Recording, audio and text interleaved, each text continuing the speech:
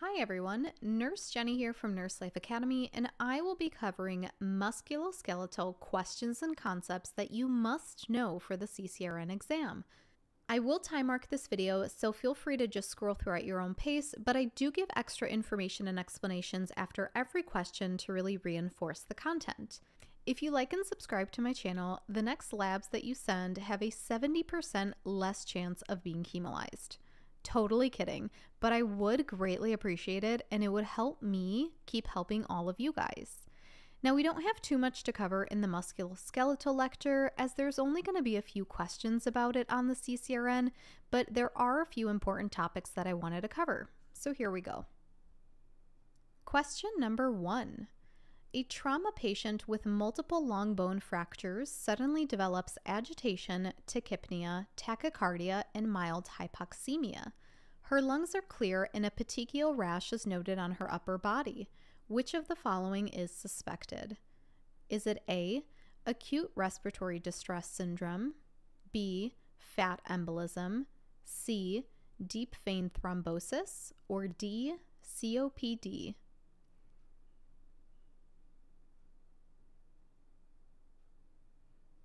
And the answer here is B, fat embolism. So, what are our symptoms telling us that we're dealing with here? A patient is developing agitation, tachypnea, tachycardia, and hypoxemia. So, definitely, we're looking at some kind of respiratory distress. But then there's also this petechial rash that's noted, and this patient had multiple long bone fractures. So, when you see long bone fractures and a petechial rash together, it's kind of a giveaway that we're dealing with a fat embolism here. It really wouldn't be ARDS because ARDS patients have wet lungs, and the answer is not DVT because a DVT does not always result in a PE. If it did, though, the PE would be due to a blood clot, and then you wouldn't have that petechiae. Question number two which of the following is the priority treatment for a patient with necrotizing fasciitis? A. Surgical debridement of the necrotic tissue. B. Nutritional support. C. Hyperbaric oxygen therapy. Or D. Antibiotic ointment.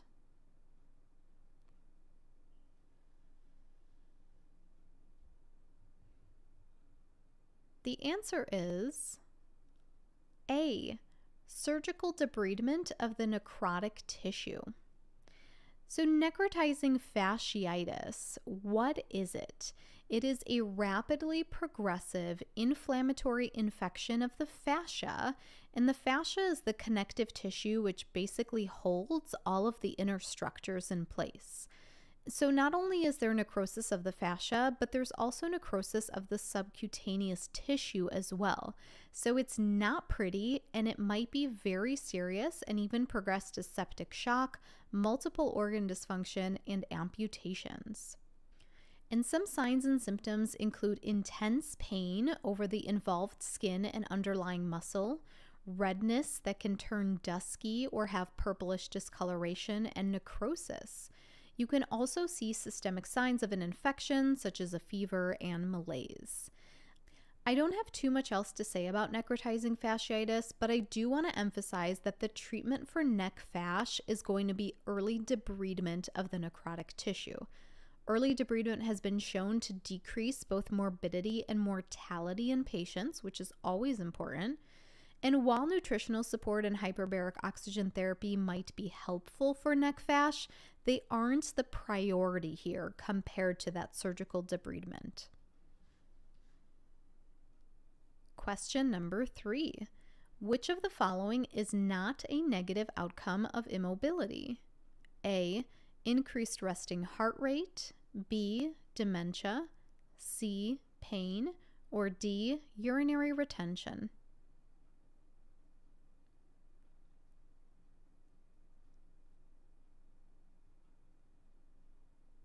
The answer is B.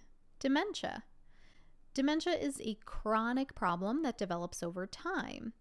This was here to trip you up because dementia is not something that will be caused by immobility, but delirium can certainly be caused by immobility.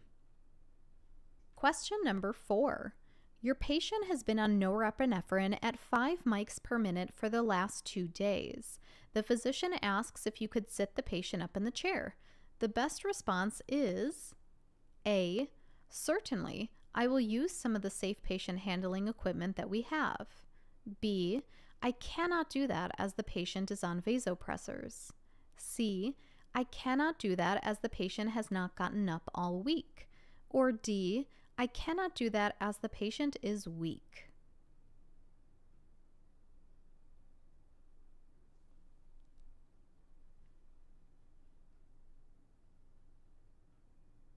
The best response here is A. Certainly, I will use some of the safe patient handling equipment that we have.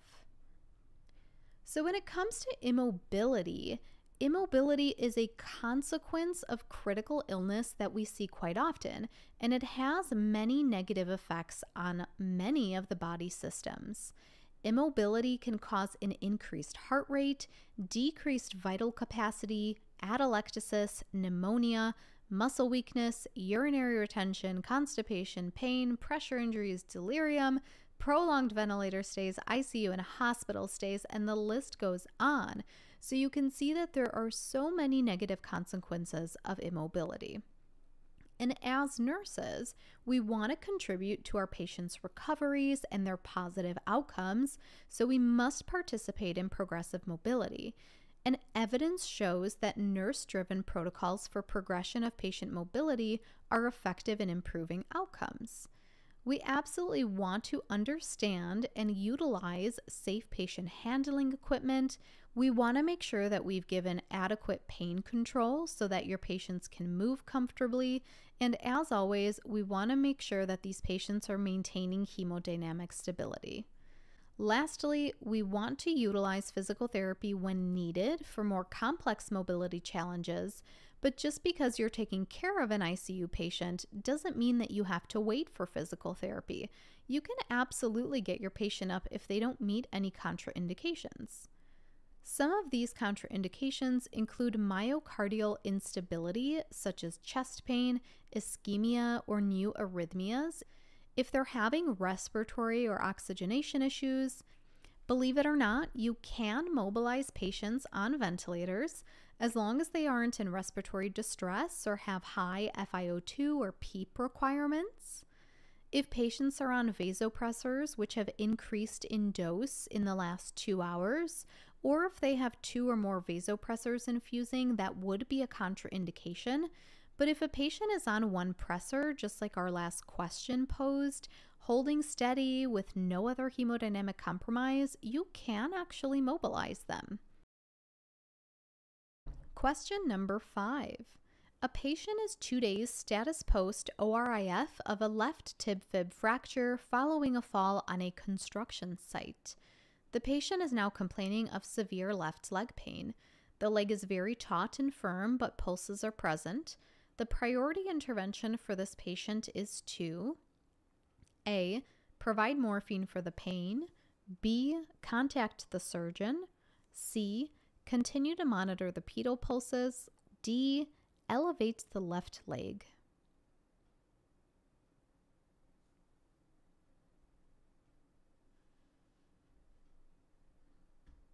And the answer here is B you want to contact the surgeon.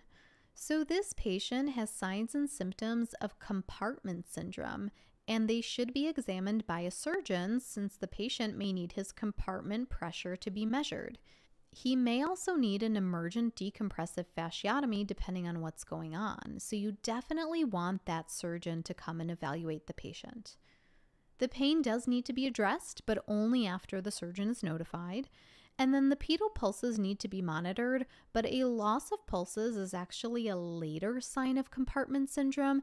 And again, your priority is notifying the surgeon. Lastly, the left leg should not be elevated because that will actually decrease arterial blood flow to that tissue. Question number six. A patient is admitted with rhabdomyolysis. Serum creatine kinase is 10,000 units per liter. Which should the nurse anticipate? A. Addition of sodium bicarbonate to infusing fluids. B. Maintenance of urinary output at 0.5 to 1 milliliter per kilogram per hour. C. Performance of a 12 lead EKG. Or D. Initiation of 0.9 sodium chloride at 10 milliliters per hour.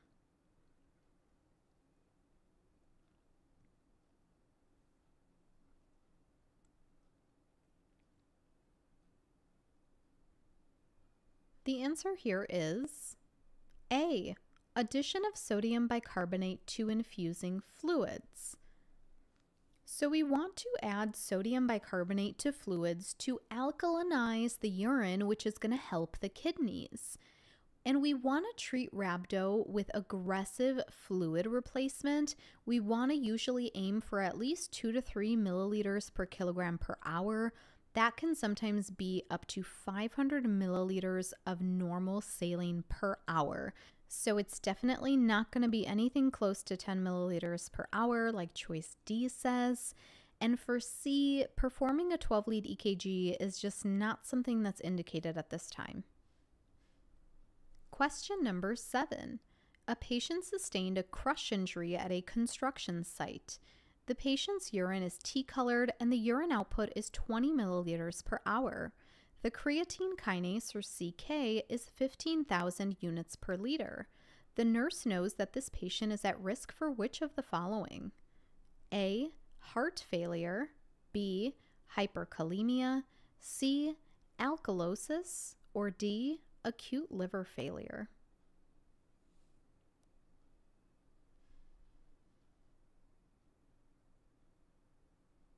The answer is B hyperkalemia. This patient has signs and symptoms of rhabdomyolysis based on their CK level being more than 10,000. They have tea colored urine and low urine output. And in rhabdomyolysis, there is massive muscle breakdown and massive destruction of skeletal muscle cells. And when these cells break down, they release creatine kinase, otherwise known as CK, as well as potassium. So you are going to have hyperkalemia. Question number eight. A nurse is caring for a patient with rhabdomyolysis secondary to a crush injury. Which of the following orders should the nurse question? A. Administer mannitol. B. Monitor the serum potassium level. C. Test the patient's urine for myoglobin or D, infuse 0.45 normal saline at 100 milliliters per hour.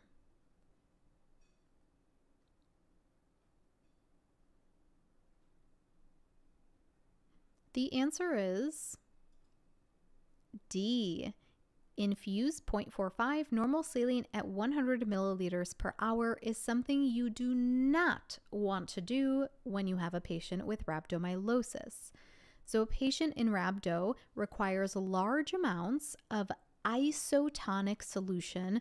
That will be your 0.9 normal saline.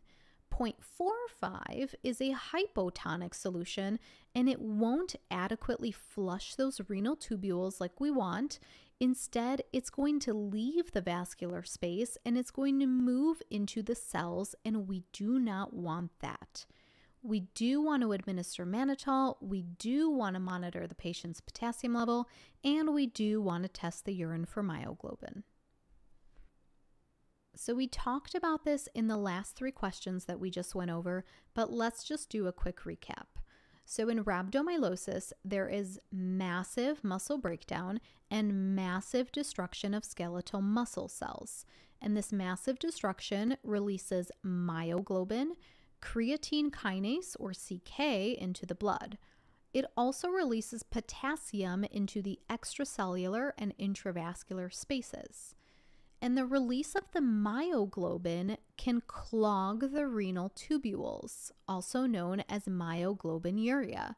And that clogging of the renal tubules may lead to acute kidney injury. The causes of rhabdo include trauma, crush injuries, prolonged immobility, such as with falling and staying on the ground for hours or days, and drug overdoses. And patients with rhabdomyolysis will have symptoms like dark, tea colored urine with low urine output. They can have muscle pain and muscle weakness. As far as labs go, there will be large amounts of myoglobin in the urine. There will be increased levels of creatine kinase greater than 10,000 units per liter, and they will be at risk for hyperkalemia. So, how do we treat rhabdomyolysis? If you remember back to our answers in the last few questions, we are going to administer large amounts of isotonic fluid in order to flush those kidneys out to prevent permanent renal tubule damage.